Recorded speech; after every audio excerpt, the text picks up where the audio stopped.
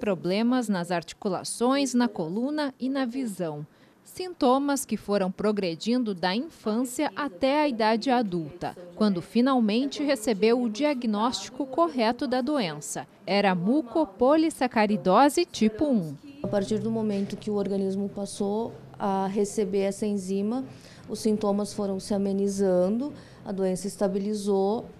O, a única coisa que é mais complexa é porque não transgride. O que aconteceu até o momento do tratamento vai permanecer uh, pelo resto da vida, porém a evolução da doença é mais lenta. Mas é possível que em breve pessoas com doenças raras, como a Daisy, tenham outra opção de tratamento, graças a uma pesquisa do Centro de Terapia Gênica do Hospital de Clínicas, realizada por professores e alunos da URGS.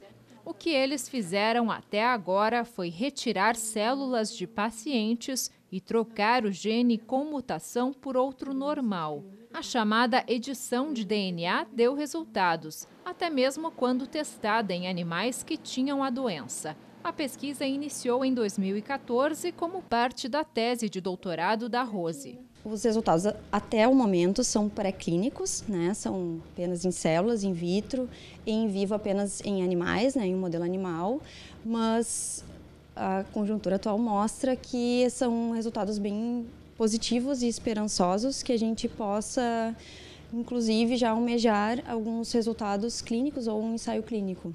A fase pré-clínica da pesquisa encerrou no ano passado. Agora estão sendo feitos testes para confirmar a eficácia e a segurança. Se tudo continuar dando certo, a expectativa é de que em dois anos seja possível fazer estudos clínicos, ou seja, aplicar essa nova terapia em pacientes.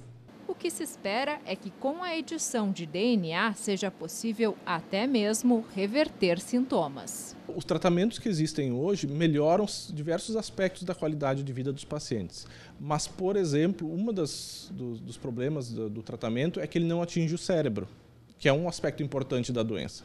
Então a gente espera que esse tratamento que a gente está desenvolvendo agora consiga, inclusive, melhorar a parte cerebral da doença. A ideia é que isso seja um tratamento que possa ser feito uma vez só na vida e isso perdure pela vida toda do paciente. E é uma esperança de, além de ter uma vida com qualidade, talvez ter a vida normalizada com essa modificação de genes.